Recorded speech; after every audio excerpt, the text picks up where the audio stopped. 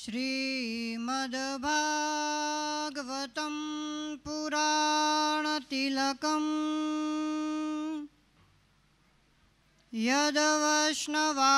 यदवैष्णवानां धनम्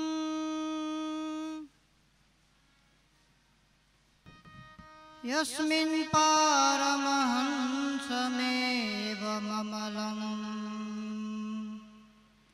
ज्ञानं परं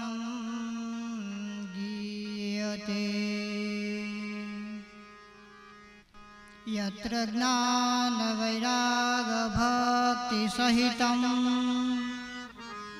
नैष्कर्म्यमाहुविष्कृतम् तत्शृण्वन् प्रपठन् विचारणपरो भक्त्या विमुच्ये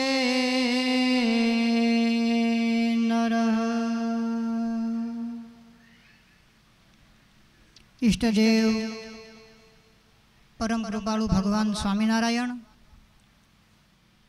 નિજ મંદિરમાં બિરાજતા જેમના ઉપક્રમે આ ઉત્સવ ઉજવાઈ રહ્યો છે એવા લક્ષ્મીનારાયણ દેવ તથા હરિકૃષ્ણ મહારાજ, રાધાકૃષ્ણ દેવ ધર્મ ભક્તિ વાસુદેવ આદિક સર્વે દેવો. ચૈત્રી સમયના વક્તા એવા શાસ્ત્રી સ્વામી નારાયણ ચરણદાસજી સ્વામી તેમજ સભામાં ઉપસ્થિત એકસો આઠ પૂજ્ય લાલજી મહારાજશ્રી તથા જેમણે આ સુંદર મજાનું આયોજન કરી, આપણને બધાને કૃતાર્થ કર્યા છે એવા સદગુરુ શાસ્ત્રી સ્વામી નવતમ પ્રકાશદાસજી સ્વામી તથા ઘણા બધા વડીલ સંતો બિરાજમાન છે, પૂજ્ય પીપી સ્વામી હોય, પૂજ્ય શ્રી વલ્લભ સ્વામી હોય, એવી જ રીતે સહિતા પાઠી સર્વે સંતો યજમાન પરિવાર તથા આપ સૌ ભક્તોને મારા ભાવથી જય સ્વામિનારાયણ. મારો વિષય છે કે ભાગવતની શ્રેષ્ઠતા. મેં એવું વિચાર્યું સામે તો ઘણા બધા વિષય આપ્યા હતા, પણ મને એવો વિચાર આવ્યો કે જેના લગ્ન છે, એના જ આપણે ગીત ગાઈએ, તો સારામાં સારું એટલા માટે ભાગવતનું મહાત્મય.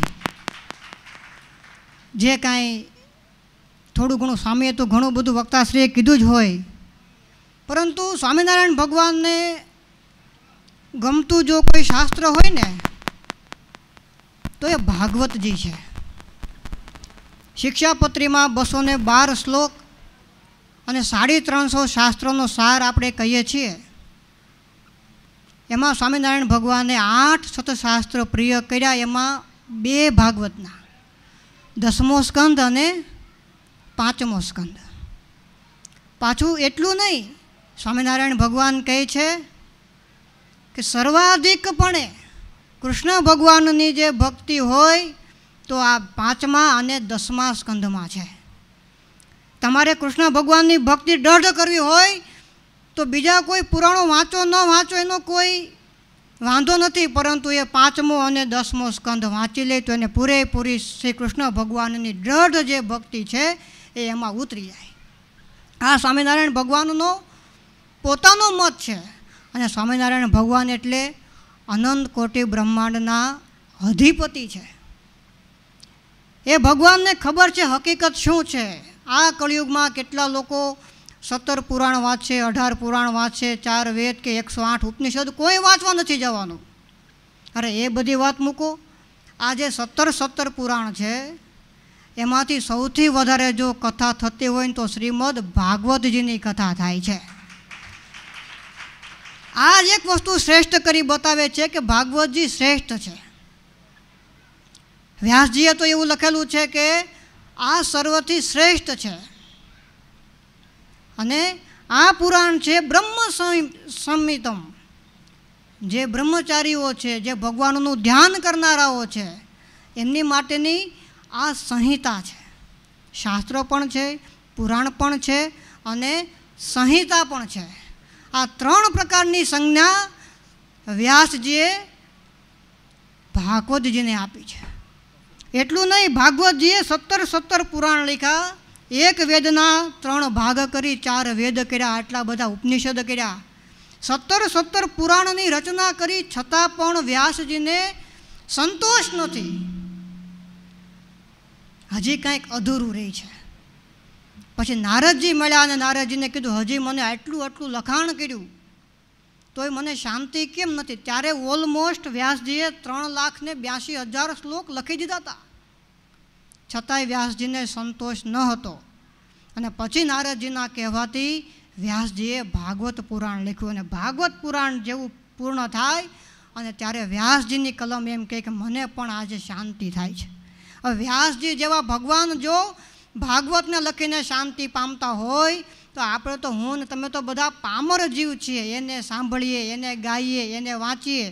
તો આપણને તો શાંતિ મળશે મળશે અને મળશે. આ વ્યાસજીનું વચન છે. મારું કે તમારું નથી?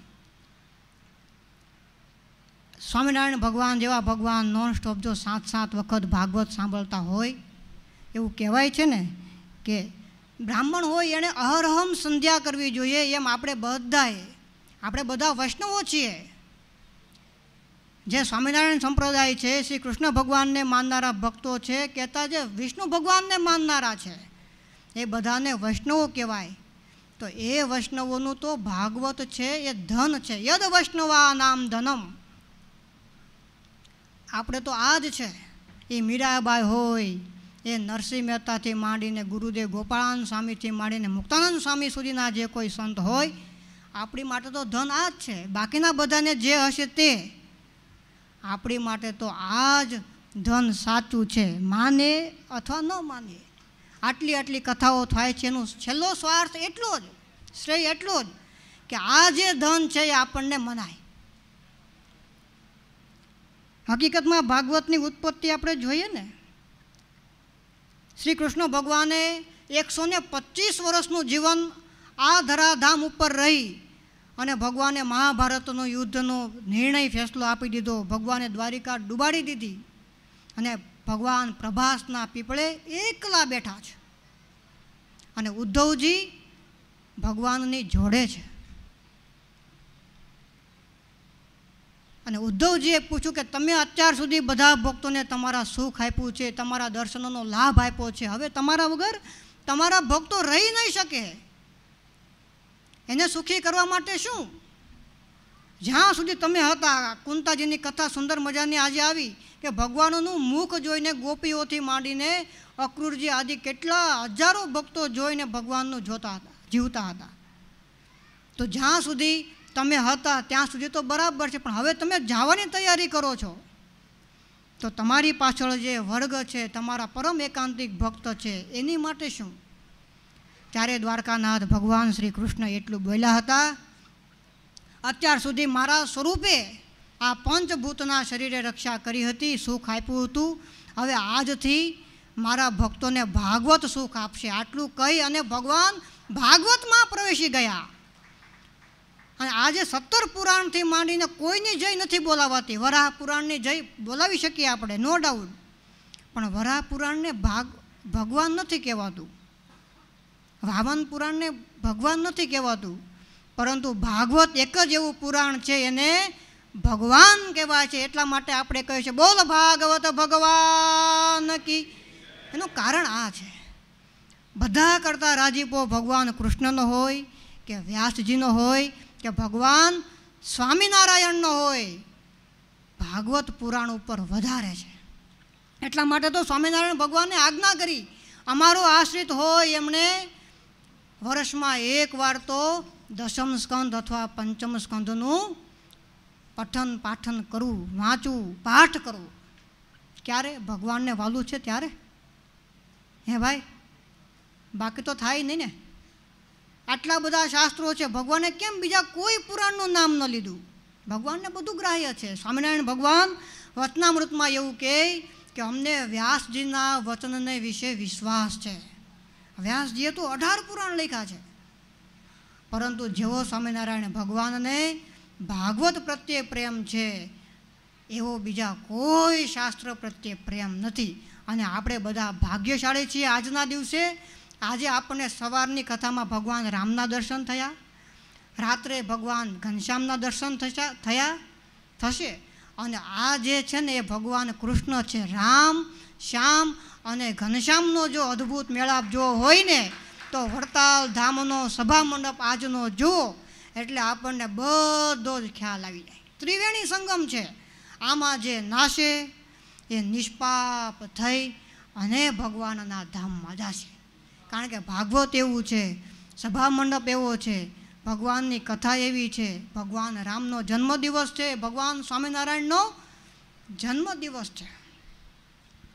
એવું કહેવાય છે કે જેના ઘરે ભાગવતનો એક શ્લોક લખેલો હોય, અરે શ્લોક નહીં, અડધો નહીં, અડધાનો પણ અડધો શ્લોક લખેલો હોય, ભગવાન કૃષ્ણ એવું કહે છે કે એના ઘરે હંમેશા હું રહું છું.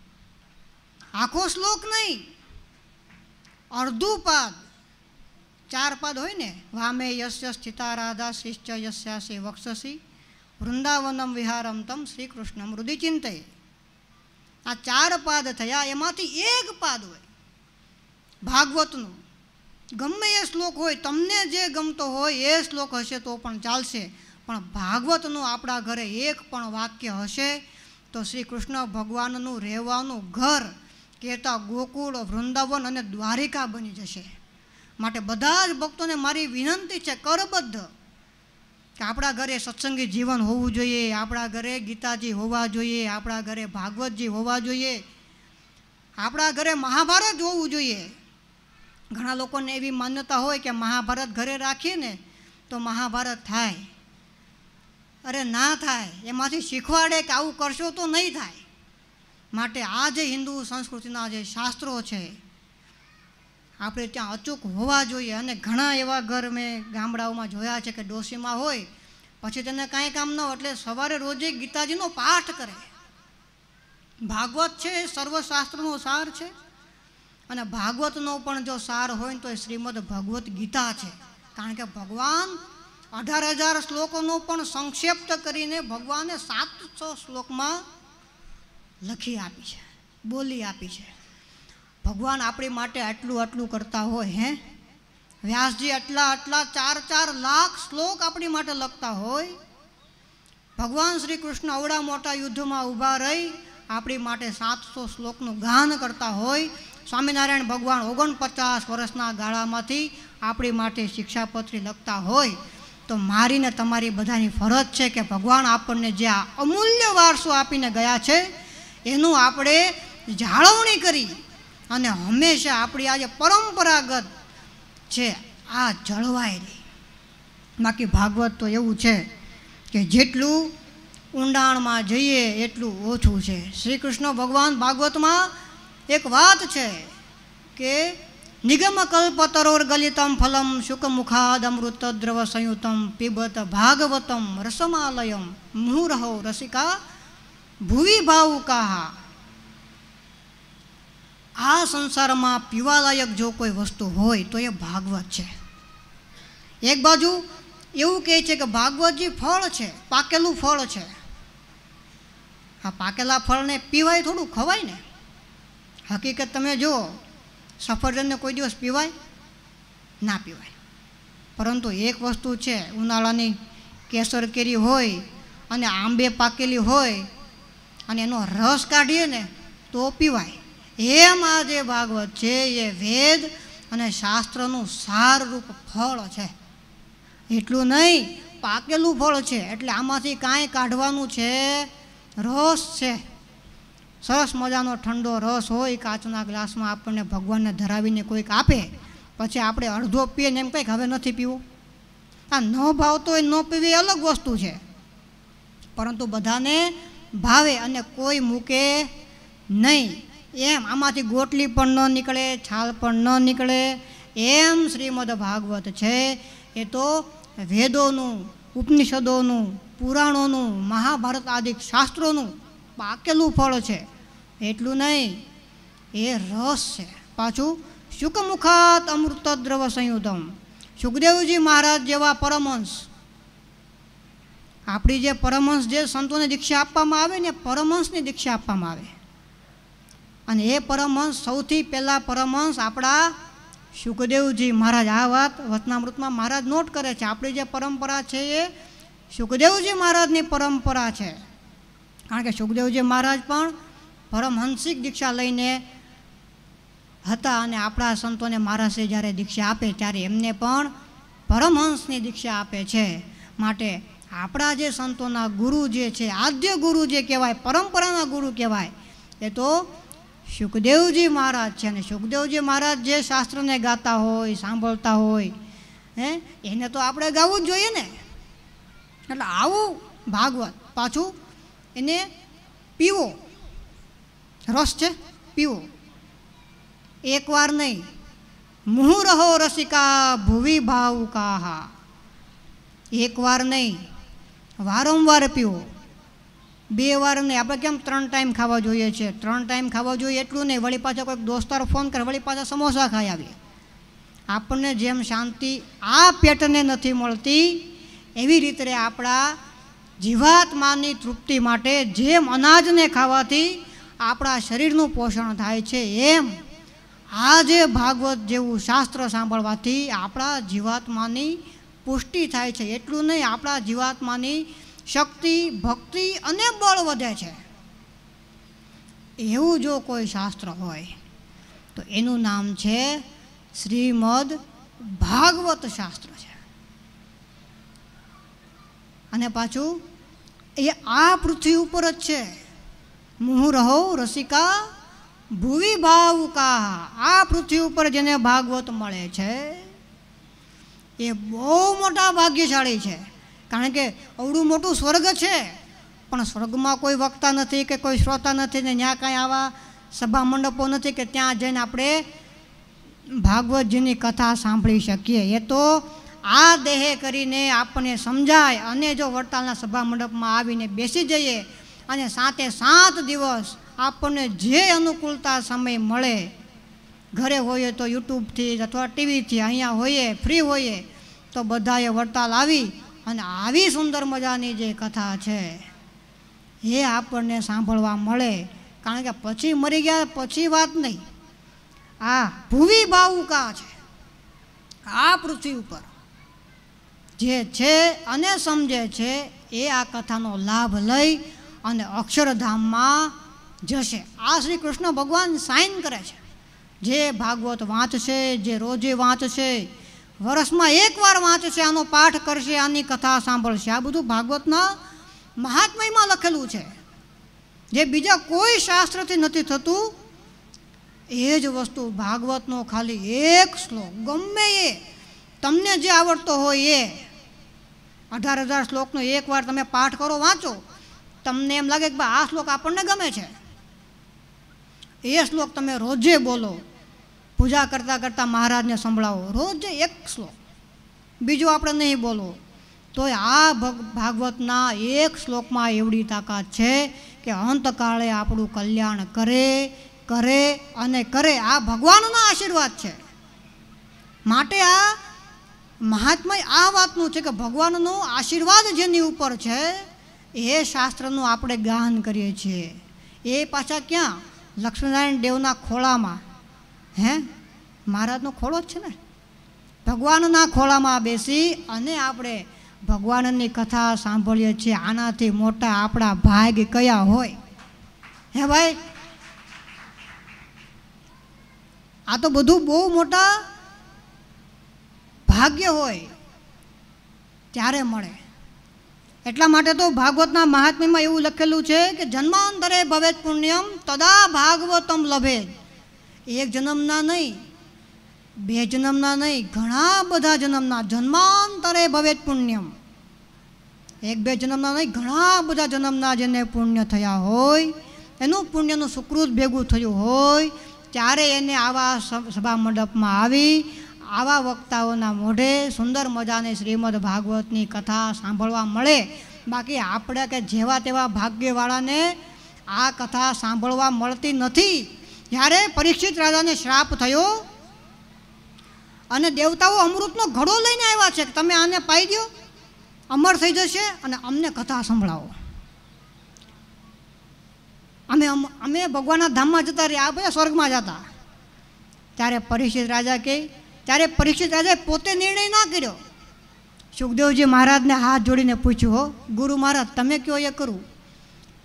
ત્યારે સુખદેવજી મહારાજે ફોલ્ટ પાડ્યો કે તારે સ્વર્ગમાં જવું છે કે ભગવાનના ધામમાં જવું છે? ત્યારે સુખદેવજી મારા પરીક્ષિત રાજા કે આમાં ફેર શું છે? સ્વર્ગમાં જશો, જ્યારે તમારું પુણ્ય પૂરું થશે, ત્યારે પાછા અહીંયા આવવાનું છે. અને બોલું, તદ્ધામ પરમ એક વખત યદ ગતવા ન નિવર્તન એક વખત મારા ધામમાં ગયા પછી ક્યારેય પાછું આવવું પડતું નથી. અમૃત પીશ, તો તને સ્વર્ગ મળશે, થોડો ટાઈમ સુખ મળશે. પછી પાછું અહીંયા આવીને હતું એનું એ પણ એક વખત જો તું ભગવાનના ચરિત્ર સાંભળીશ, તો પછી તારે ક્યારેય અહીંયા પાછું આવવું પડશે નહીં. પછી પરીક્ષિત રાજાએ કીધું તો મારે આ અમૃત જોઈતું નથી, હું તો કથામૃત પીશ. અને પછી તો સુખદેવજી મહારાજે દેવતાઓને એવું કીધું કે તમે આના અધિકારી નથી. આ ભાગવતમાં લખેલું છે, ક્યાં કાચનો ટુકડો અને ક્યાં મણી. સ્વર્ગના સુખને કાચનો ટુકડો કીધો છે અને આ ભાગવતજીને સુખદેવજી મહારાજે મણી કીધો છે. એક મણી હોય ને, એવા કેટલા કાટના ટુકડા આવી જાય. આખું ઘર ભરાઈ જાય. તોય વધે. એના બદલામાં કે કમ્પેર થાય? અને પછી જે પરીક્ષિત રાજાએ ભાગવતની કથા સાંભળી, પાંચ પાંચ દિવસ સુધી પરીક્ષિત રાજા પાણી પીવા પણ ઊભા થયા નથી. આવો એને રસ લાગ્યો ભાઈ. વાલા ભક્તજનો આપણને સુંદર મજાની આ કથાનો લાભ મળ્યો. બસ એટલી જ પ્રાર્થના છે કે વિશેષને વિશેષ આપણે બધા જ આ કથાનો લાભ લઈ ભગવાનને રાજી કરીએ અને આપણે આવા સંતોની હંમેશા સેવા કરી અને આપણી ઉપર વડતાલવાસી લક્ષ્મીનારાયણ દેવ, હરિકૃષ્ણ મહારાજ રાજી થાય. વિશેષમાં મને પૂજ્ય નવતમ પ્રકાશ સ્વામીએ મારી વાણી પવિત્ર કરી કરવાનો જે મોકો આપ્યો, એ બદલ સ્વામીનો આભાર માનું છું. અસ્તુ જય સ્વામિનારાયણ.